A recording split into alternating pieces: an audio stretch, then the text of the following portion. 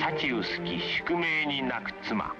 私は夫婦共稼ぎで気楽に働いて3人楽しく日を過ごすことができればとそればかりを願っているのです。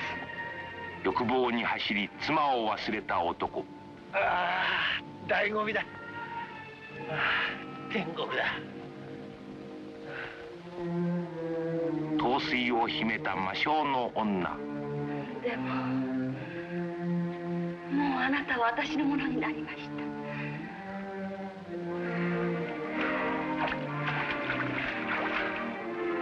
これから私のために命を尽くしてくださらなければいけません。儚い野望の幻に取りつかれた男。大きな望みを持たずに出世ができるか。望みは大海の落としか。運命の濁流に転落する女女房がこんなに落ちぶれてもお前が出世すればそれでみんな帳消しささあ今夜お前もお客になって興味を立ててもらった方で落ちぶれ女この私をお買いよ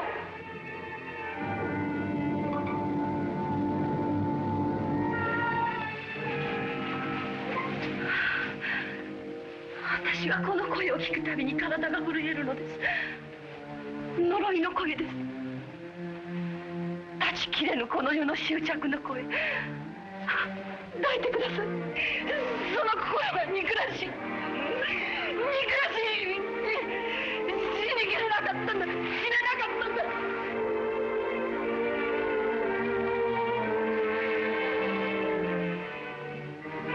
美しい幻想と厳しい現実との交錯を背景に巨匠溝口賢治が情熱を傾けて描き尽くす生々しい人間の姿。